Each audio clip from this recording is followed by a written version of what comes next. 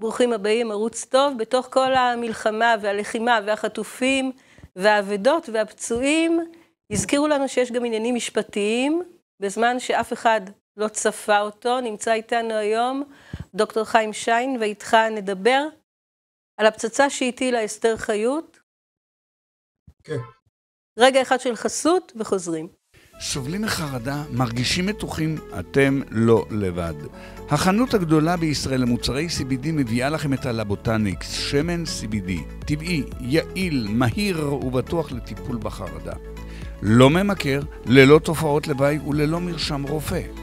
היכנסו לקישור שמתחת לנגן והזמינו לעצמכם את הפתרון הטבעי ליום רגוע ושינה טובה ונעימה.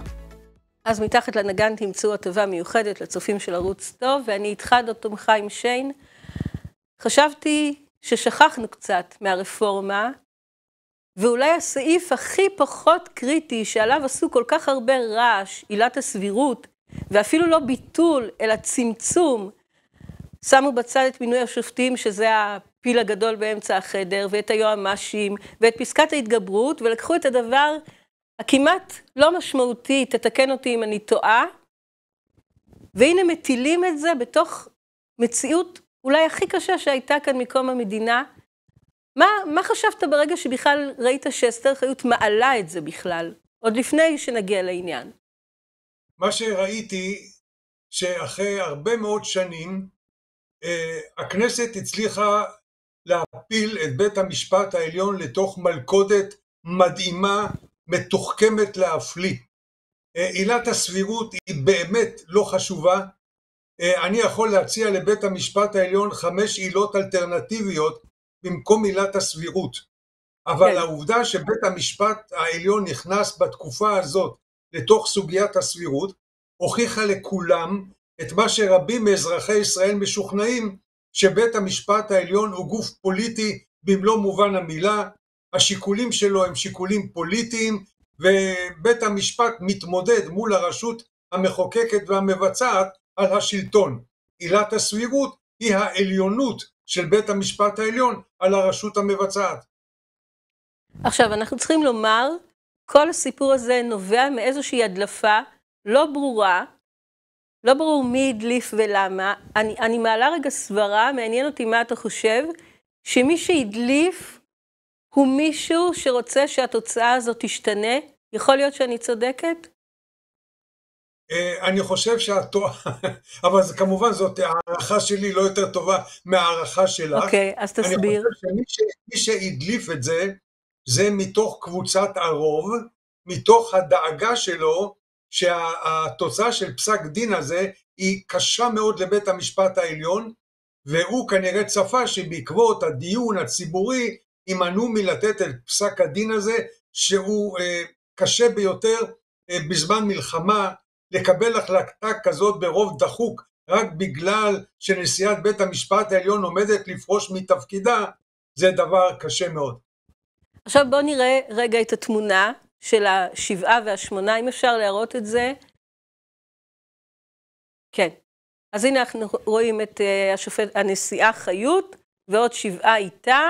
גם השופטת ברון, אני, נדמה לי שהיא באותו סיפור של אה, פרישה, אל מול כן. שבעה. ש, שמתנגדים אה, לפסילה. עכשיו, אני מבינה שהטענה שכל הסיפור של עילת הסבירות התקבלה ברוב לא מספיק, ואיך אפשר, ואיך הם מעזים. כאן יש רוב של כל אחד.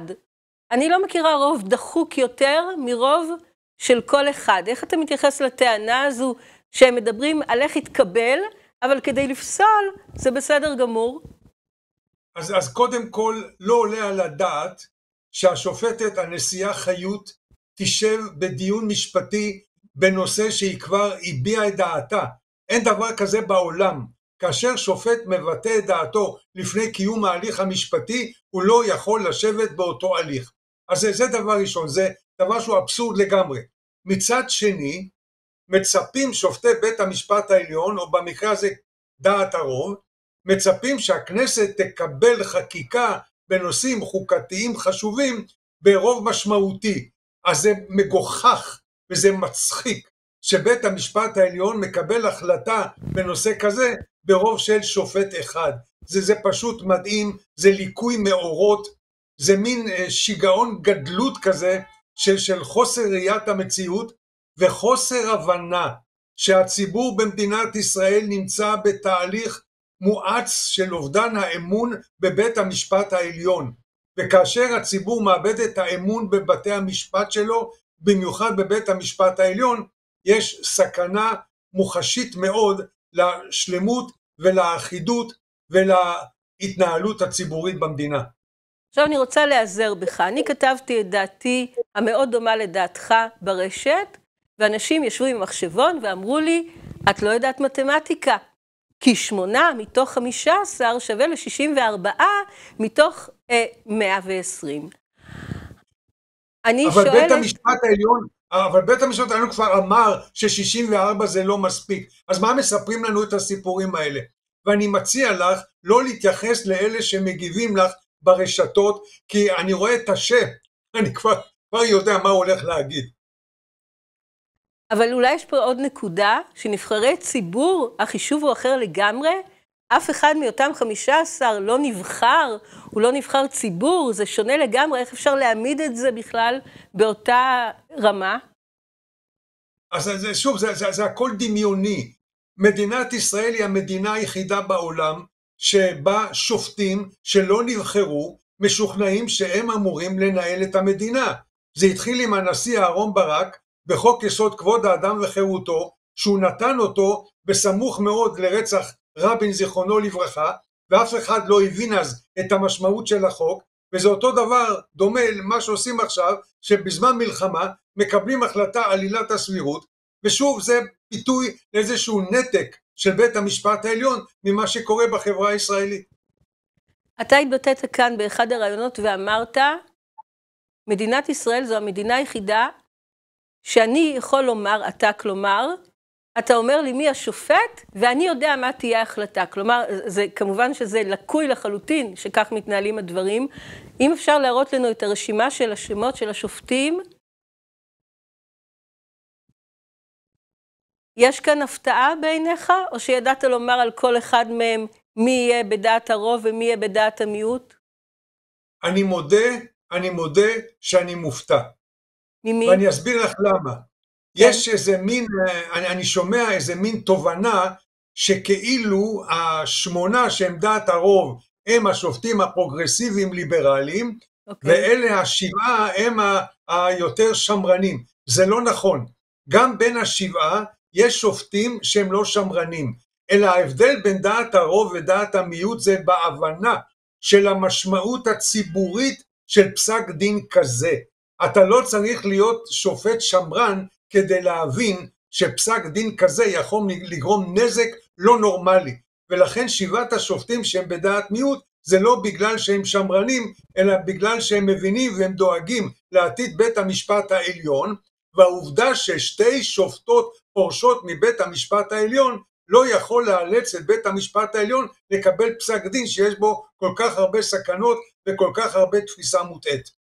עכשיו צריך לומר, אם שתי השופטות הש... הפורשות, לא בגלל דעתן, אלא מעצם פרישתן, אם הקולות שלהם לא היו נכללים, התמונה הייתה הפוכה לחלוטין.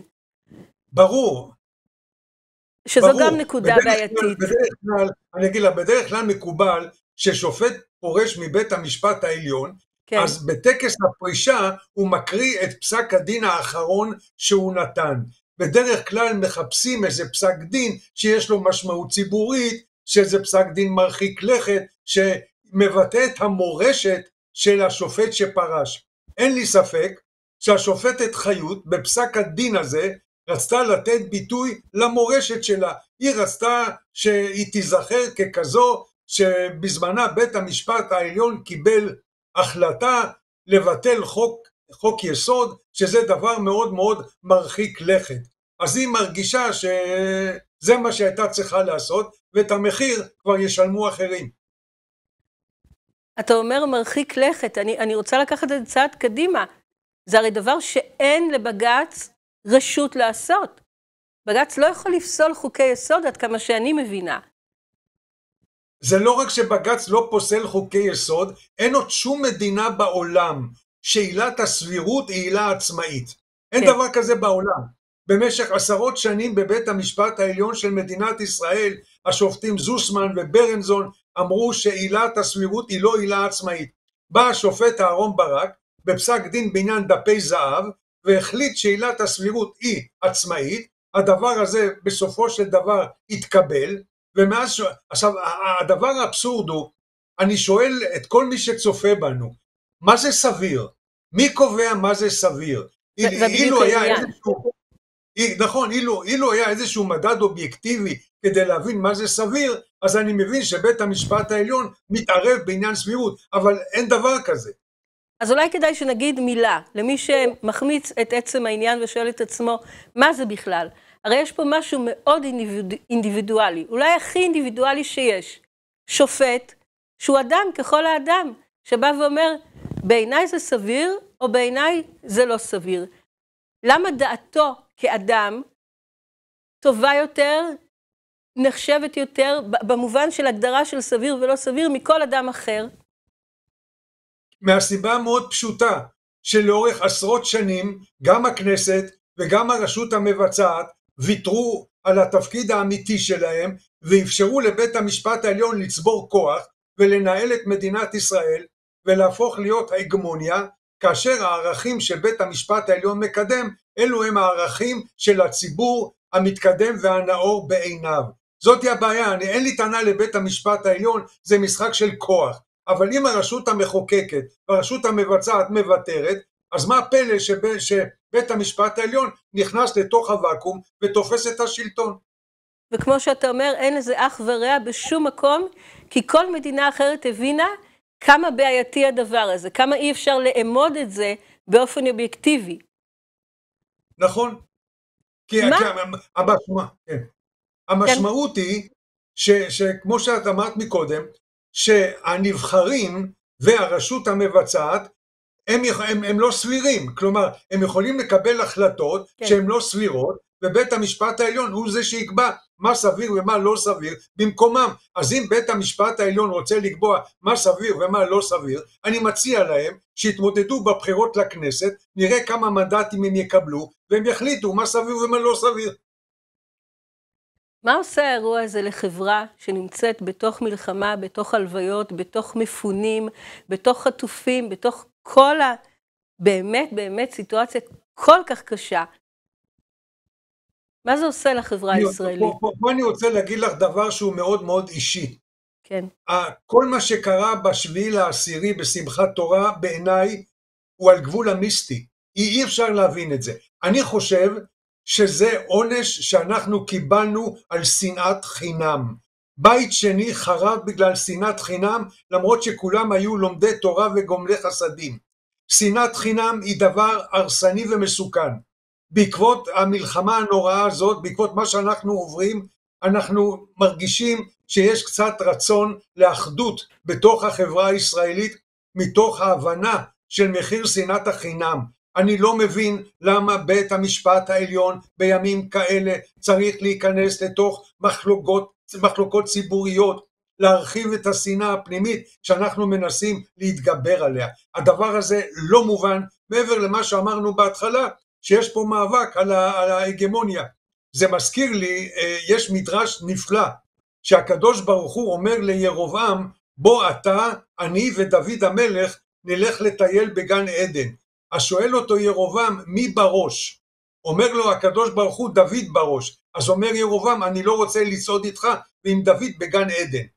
השאלה הזאת, מי בראש, היא שאלה נוראה, כאשר יש מאבק בין הרשויות הנבחרות לבין רשות שיפוטית ממונה, וזה מתכון קשה מאוד לחברה הישראלית, וזה דבר אבסורדי שבימים האלה של, שחיילים נלחמים רוצים לבצע ולהרחיב את המחלוקות האלה. אני זוכר, כשאני הייתי בקורס קציני שריון, היינו שלושה דתיים, שמו אותנו באותו טנק, כדי שכל המטרד יהיה ביחד. ברוך השם אנחנו זוכים היום שיש דתיים, חילוניים, אשכנזים וספרדים, כולם נלחמים ביחד. אז מה צריך בית המשפט העליון להוסיף דלק לתוך תבערת המחלוקת? נשגב מבינתי. לו אתה הנשיאה חיות, אתה בא ואומר, סליחה, הציבור הישראלי אצה לי הדרך, רציתי להטביע חותם, רציתי לעשות משהו משמעותי, על אף שנורא לפני שאני עוזבת. אני חוזרת בי, אני יורדת, אני מורידה את זה מסדר היום.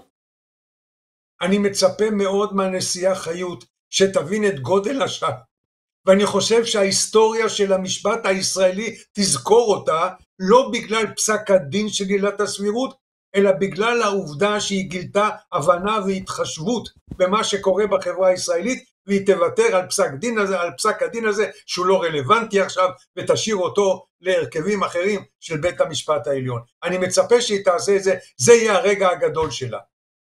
אז הנה, אנחנו מציעים לך, הנשיאה חיות, דוקטור חיים שיין, משפטן, מרצה למשפטים. תודה רבה על השיחה הזו. תודה, תודה לך, כל טוב.